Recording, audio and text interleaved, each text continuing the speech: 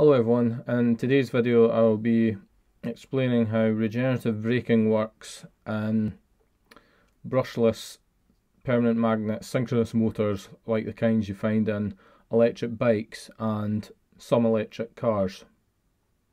So this is something which has puzzled me for quite some time and I was thinking it would require an extra bridge rectifier and DC step up converter which would be attached uh, to the motor.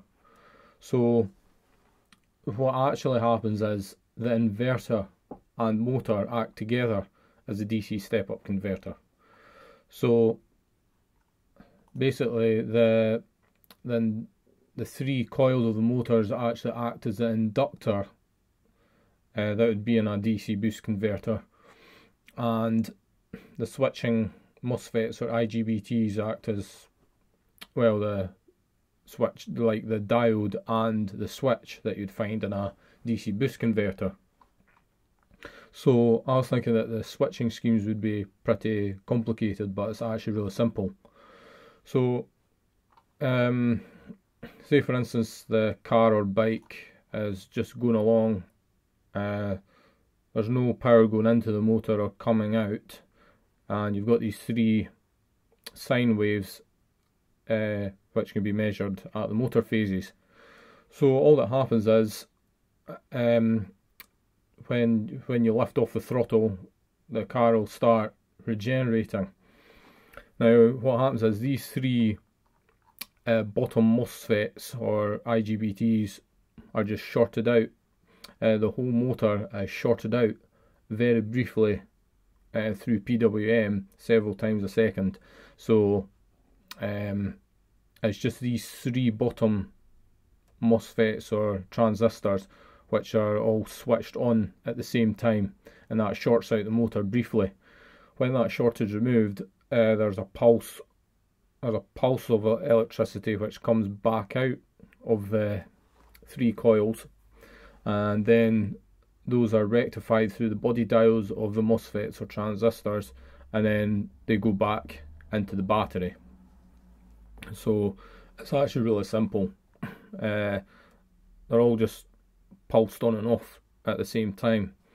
Now, I'd imagine that what would happen is um, the duty cycle of these pulses would vary depend on depend on how much regeneration is demanded, um, and it might actually be more complex than this, and like the inverters you'd find in the Tesla or other cars like the BMW i3 because I'd imagine that maybe the frequency and duty cycle uh, change in the in uh, most electric cars just to absolutely maximize efficiency as much as possible.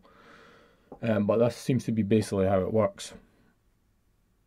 So it seems to me like uh, it would be a very simple thing to implement into electric bicycle controllers just by reflashing the firmware to them somehow sadly, this is far beyond my skill set. Um, but I would like to set up a test rig to see just how much power this switching scheme can produce uh, and see if it actually really does work. Um, but I would need to actually somehow develop on a microcontroller using Arduino environment uh, an inverter uh, which could perform this sort of switching scheme, uh, which could spin up the motor with a flywheel on the end, and then just switch switch the bottom half of the three bridges and regenerate like this. Um, I have no idea how to do this at the moment, and I will study it quite a bit more. Um, I suppose I could make make sort some sort of add-on module where rather than the top three there being transistors or MOSFETs, there'll just be three diodes and there'll just be three MOSFETs at the bottom, which I would just uh, pulse on and off like that. That's really simple, but actually using the whole thing and making an inverter from it, uh, that is far more complex. So uh, if anyone could help or point me to some code where something like that has been implemented, then I would be I'd be really grateful. Now for things like induction motors, this wouldn't work because there's no magnets in the rotor to generate any sort of uh, voltages across the phases. So those inverters just reduce the output frequency um, and it causes a drag on the rotor and that somehow regenerates back into the battery. I'm, I'm not sure exactly how that that works though, um, because that, that one's a little bit beyond me. Um, but I imagine it's, it's something like this. It's just that shorting effect across the the magnetic fields somehow boosts the voltage.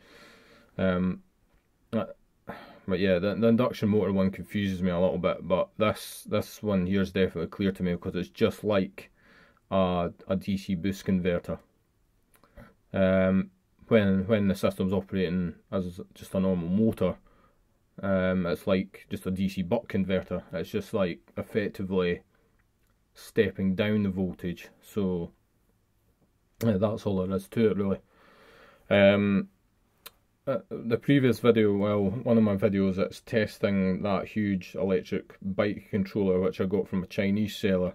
Um, I was in contact with them asking if they could ever add regen to it, and they say it's a very, very difficult thing to do. So um, at that time, I didn't have this data sheet, so I'm going to send this publication to them and try and get them to somehow implement this feature. Um, because for electric bikes, this would be amazing because you, would save money on uh, brake pads uh, because you have to change them quite often on electric bikes because they're quite heavy.